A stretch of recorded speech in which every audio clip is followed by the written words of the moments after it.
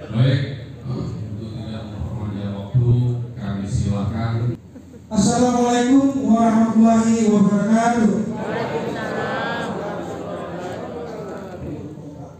Burung palang terbang ke barat, terbang di udara tinggi sekali.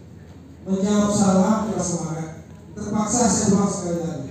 Assalamualaikum warahmatullahi wabarakatuh.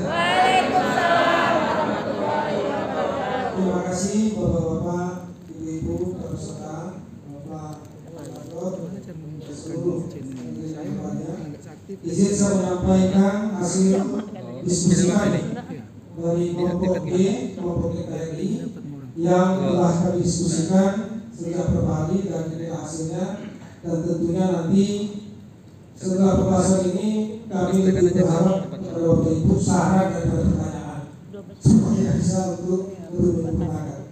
Baik, eh, kami sepakat untuk mengusung judul implementasi nilai kebangsaan yang bersumber dari NKRI dalam kehidupan berbangsa dan negara menuju Indonesia Emas 2045.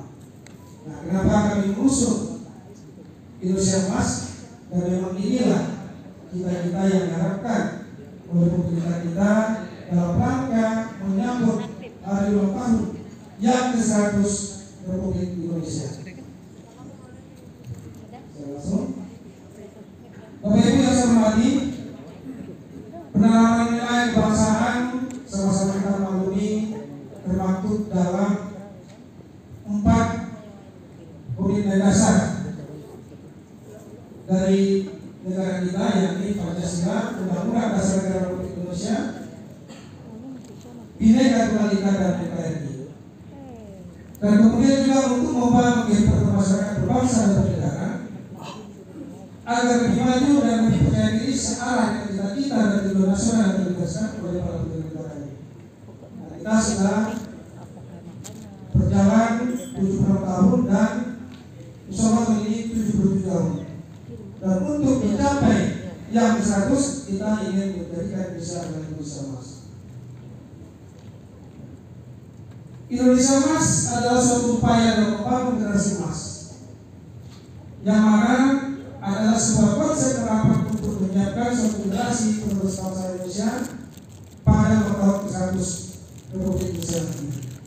Nah, dari semula ini tentunya memiliki kecerdasan yang komprehensif, produktif, inovatif, mempunyai kejiwaan, interaksi sosialnya, karakter yang kuat serta damai, sehat, menyehatkan, dan mempunyai interaksi ke alam serta berperadaban. Tentunya Indonesia Unggul, Indonesia Emas adalah merupakan peluang bagi bangsa Indonesia untuk menjadi bangsa yang unggul. Bapak Ibu hormati, mari kita lihat sepintas, tidak pendek apa yang diinginkan oleh negara ini untuk menuju Indonesia.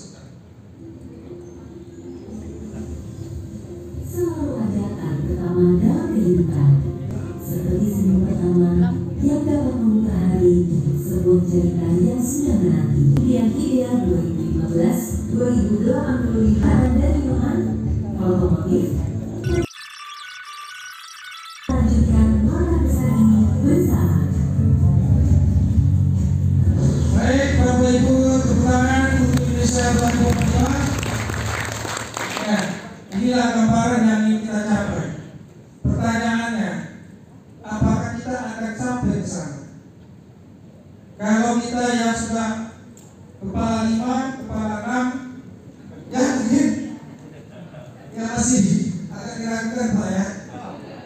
Kalau mungkin, mungkin kondisinya sudah berubah. Kita tidak akan ini lagi. Tapi saya yakin di sini banyak rekan-rekan kita yang masih milenial. Mereka akan mencapai itu. Dan Bapak Ibu sekalian, di luar sana, di luar sana, anak-anak kita, anak bapak-bapak, anak bapak ibu-ibu, mahasiswanya, pelajarnya, SLTA, SLTP, SD, bahkan TK dan PAUD, itu akan menjadi generasi 2045 dan itu menjadikan tanggung jawab kita bagaimana mereka bisa untuk menghadapi. Kita dihadapi dengan disruptif. Gak ada yang berubah-ubah. Kalau dulu ada pepatah mengatakan yang kuat akan makan. Sekarang tidak lagi. Yang cepat akan mengalahkan yang lambat.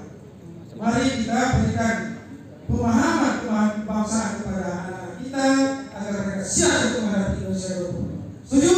Setuju. Oke. Baik.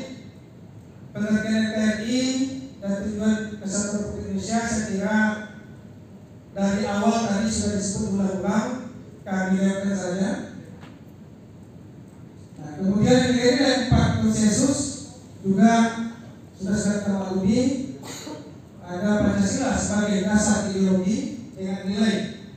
Yang terlihat di sini ya kita saja konstitusi negara dari undang-undang. 1945 kemudian Merdeka Tunggal Ika dan merupakan data mati. Inilah yang menjadi fokus kami di kelompok ini adalah NKRI yang mana membuat tiga nilai nilai kesatuan wilayah, nilai persatuan bangsa dan nilai kemandirian. Nah, wawasan kebangsaan juga sudah sama-sama kita pelajari. Kemudian saya langsung kepada implementasi. Persatuan bangsa kami sepakat untuk implementasikannya. Ini hanya sebagai contoh saja. Pertama, untuk persatuan bangsa ini kita masih menawarkan semangat nasional kepada kita dengan memperingati hari ulang tahun Republik Indonesia ataupun hari besar nasional. Kemudian adanya kebutuhan saling ketergantungan, kemudian adanya dorongan untuk saling membantu di tengah masyarakat. Kemudian nilai yang kedua nilai kesatuan. Kalau berbicara kita kesatuan Republik ini memang terdiri dari pulau-pulau atau katakanlah kita berbicara geografis. Namun dalam hal ini tidak hanya berbicara wilayah, tapi juga masalah politik, hukum, sosial, budaya, pertahanan dan keamanan. Nah implementasinya dengan menerapkan pembangunan melalui otonomi daerah yang sebenarnya otonomi daerah. Kemudian prioritas pembangunan wilayah daerah khususnya pada daerah perbatasan dan terisolir serta terpencil. Kemudian untuk mempertahankan NKRI tentu kita harus mempunyai posko TNI yang untuk berkuat tersisa yang baru. Kemudian pembangunan infrastruktur, transportasi dan komunikasi nasional diperlukan untuk menjaga kesatuan negara Indonesia. Dan nilai yang ketiga adalah nilai kemandirian. Terdapat ada delapan nilai kemandirian dalam nilai kemandirian yang ada. Kami mencoba mengambil salah satu, yakni kemandirian di bidang ekonomi. Kami angkat salah satunya adalah melalui pemberdayaan ekonomi masyarakat melalui kegiatan-kegiatan UKM. Kenapa ini kami jadikan contoh? Karena kita tahu UKM ekonomi masyarakat itu betul sangat tangguh ketika terjadi krisis moneter 1978 banyak perusahaan besar yang gulung tikar tapi ternyata UMKM kita masih eksis tepuk tangan untuk UMKM kita terima kasih Oke, kemudian selain UMKM tentunya sejalan dengan kemajuan teknologi sekarang kita sudah mengarah kepada Indonesia menuju ekonomi digital. Sudah banyak startup-startup yang ada kegiatan-kegiatan yang melalui penggunaan digital kita duduk di sini saja bisa melakukan transfer uang misalnya belanja dengan Gojek dan sebagainya maupun semuanya sudah ekonomi digital. Kita akan mempermantap di semua. Salah satunya adalah anak muda. Sebagai penutup, ya kesimpulan untuk generasi nilai-nilai kesatuan wilayah dengan menetapkan otonomi daerah, prioritas pembangunan daerah terpencil dan terisolir, kemudian implementasi nilai persatuan bangsa dengan terus menanamkan semangat kepada anak kita dengan mereka memberikan di hari besar nasional dan implementasi nilai kemanusiaan adalah bagaimana bangsa ini bisa baik, bersaing, berdaya saing, dan akses globalisasi. Kita saja. Baik, ini terakhir kami tutup dengan sebuah pantun.